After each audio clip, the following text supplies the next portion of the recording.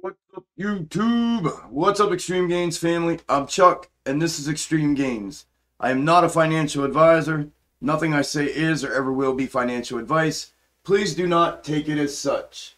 Today is Sunday, January 23rd, 2022. This is the AMC Algo Exposed weekly uh, update prep video for the week ahead. Uh, tomorrow we will be open live stream here as always for Market Open tomorrow, Monday, January 24th at 9 a.m.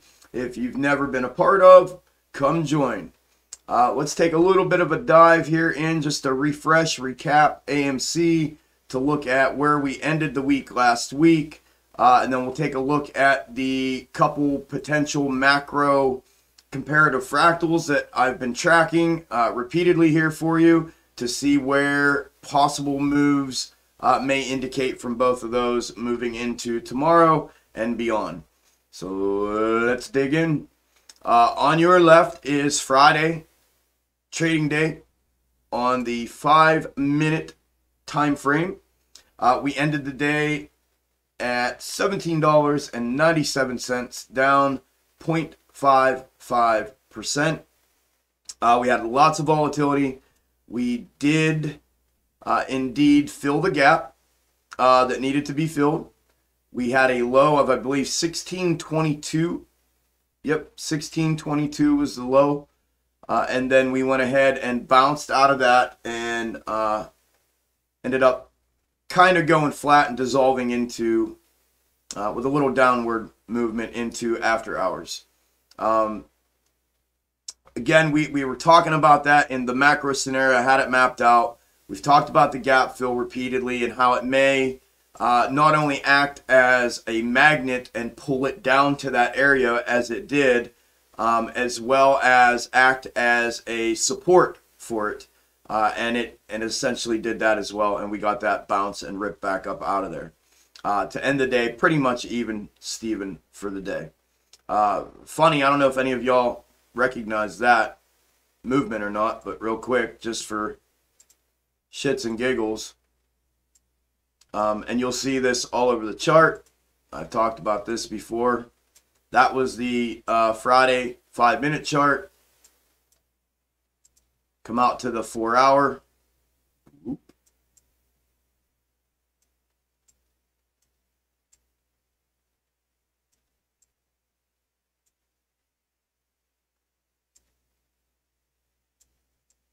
And if you take a look at this on the four hour chart, you can see where that movement comes from, right? Over and over and over. There it is. There it is. Right? Same thing. There's the four hour of the current macro fractal that we're in. That's the five minute. Lay it over it.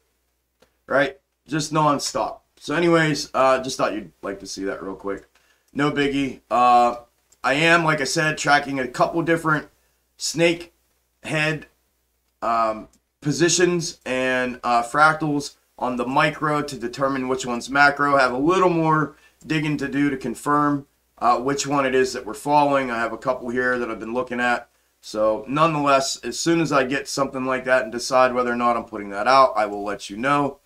Uh, so other than that, moving on, let's move over to your right and look at the macro fractal, comparative fractals that I've been using uh, for this process. The first one being, we'll look at the uh, seven year to seven month fractal comparison. And that is taking this macro descending wedge that we were in from 2013 to the run up in January of 2021 and its location relative to this last descending wedge on the interior of that macro and the movements within.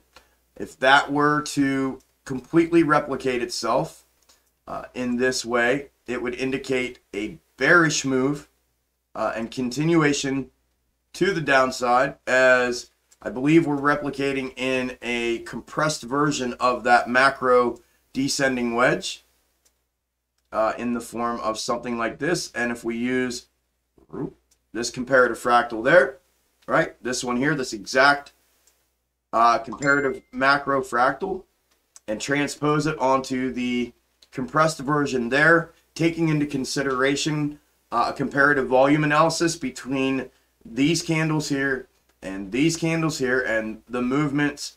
Uh, it aligns itself as you can see. Okay, we've looked at it even closer up, which I will now show you. Uh, we have also measured the distance between the downside move from the top of this box top to the bottom of this double double uh, in comparison to the one on your right that we're currently in. If it were to continue to fulfill this movement uh, to the downside and replicate this double double, and we measured the the I guess descent percentage from the top of this box top and rel- and down here to the double double relative to this and there's a like a 3% difference uh, in the percentage movement if this were to continue to play itself out down to this level.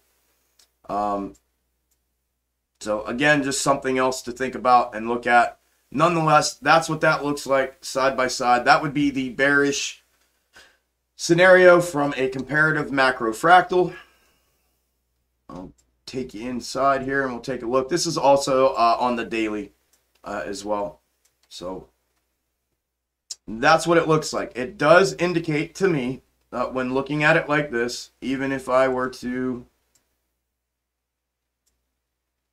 squeeze that in, it looks like the next macro movement would be the overall macro movement would be to the upside. Now, whether, again, I say this all the time about having a generalized perspective of the uh, movements, you know, right? Having a macro perspective of everything and not so much zeroed in on the little micro movements prior to, right? The macro movement, because I'm looking at a macro fractal, indicates in this position, right, a little bit of volatility here, but nonetheless, the next macro movement would be to get back up above, which we are now, uh, and, and try to retest that level and probably maybe even retest the uh, at one time the megaphone support as a resistance uh, somewhere in that generalized area is kind of what I'm looking at.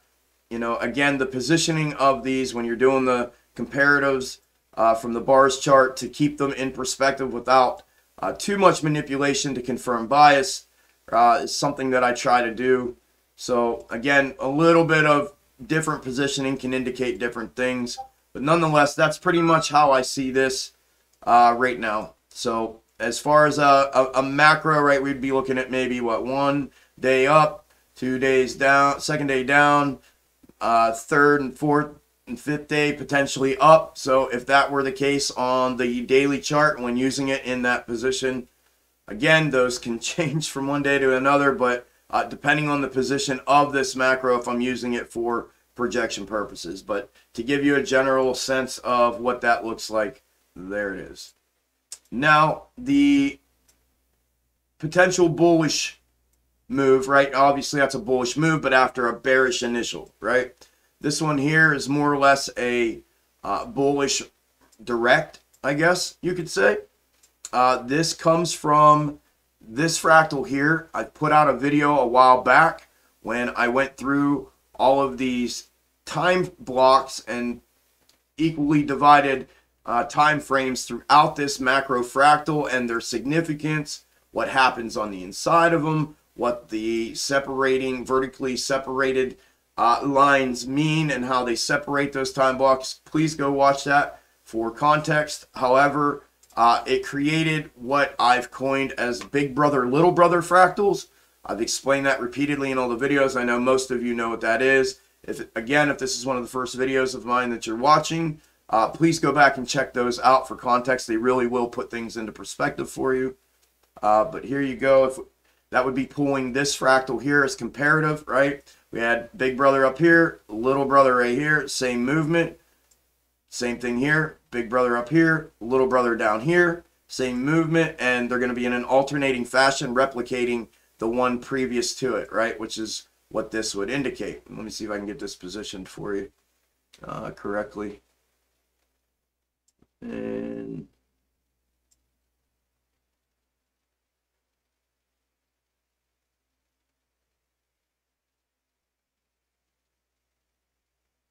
There it is. Something like that. Right? If this was replicate, let me give the uh, the macro perspective of that. Okay? That would be if we bounce right here and I align that, obviously aligning the top with it as well. And we take a look at that. So here you go with that. That would indicate uh, I, in this position, again, these things can move a little bit left, a little bit right, and it changes things, right? Um, so keep that in mind when when looking at these and when reviewing them and when I'm reviewing them. Uh, that's why I don't really allow myself to make projections in the micro based off of these, rather the the macro, broader perspective of all of this. And I don't know that I'm ever going to stop repeating that because it seems like at sometimes I just can't get it through to people. I know you all want projections and predictions. Uh, it's not what I do. So, anyways, here you go. That's what that looks like. Potentially uh, continuation to the upside. Again, a rejection off of the uh, the megaphone support, and um, which now would be resistance back down to the gap fill area to make the left side portion of the double, right, and then the other right side portion of the double before eventually uh, creating that grind up uh, movement to the next box top. So again, that's how that macro would look and play out there. Those are the two and the only two right now from a macro perspective that I'm following, uh, that I'm tracking, and for the reasons that I've just explained, I've given you video reference to go back and check that out if that's something that you want to check out uh, with the big brother, little brother, and those segmented off time frames. Uh, again, I'm working on some behind the scenes stuff when it comes to the snake algo. Uh, if and when with the uh, Discord members, the private Discord members, if that's something that I and we decide and or come up with and decide that uh, something that needs to be uh, broadcasted on this channel, uh, at that point we will do so. Right now we're not quite there and sold on uh, any of them specifically right now to make any kind of move like that uh, publicly here on the YouTube channel. But uh, outside of what we've all looked at and have been looking at together and tracking together for quite some time now, uh, that continue to uh, track themselves, right? We did eliminate one at, at the moment uh, from last week. And right now, that's what we're looking at. This bullish one, if you will, and the other bearish first, then bullish. Okay? That is what I got for AMC. Uh, we, I, I, I, go ahead and I'm going to go ahead and give you this real quick and show you again. Sorry, I stumbled over myself there for a minute. Uh, let you see this real fast one more time. This is SPY. This is something that, again, we've been tracking for quite a long time uh, that I've been calling out and talking about. Uh, this is the blue transposed is the SPY 0809 chart uh, overlaid on top of the current SPY chart and it has been following it. I put this on there back in December, uh, right around December 5th, right when I first started YouTubing, and it's been following it uh, pretty well. Again, we've talked about column left, column right, shifting this depending on whether or not what this bounce looks like, and uh, there are some other variables that have been taken into consideration with this from previous market conditions and movements, and potentially what this may look like uh, moving into this week. Obviously, this indicates a potential bounce, right? We're down here in correction territory on the W. Been talking about this for a while, calling for it for a while. Here we are. Uh, so I'm hoping to see that. We did feel it was brought to my attention. We have a gap right here that needed filled. We did fill that gap with this move down, I believe. So uh, right out of the gate, maybe a push down first thing in the morning, depending on how things play out the rest of today into tomorrow morning with the market conditions and futures and whatnot. But uh, we'll take a look at that tomorrow morning, uh, both in Discord in the morning for y'all and uh, for when we first come on to the live stream here at 9 a.m. So that's kind of how that's tracking as well. Something we're keeping a super, super close eye on.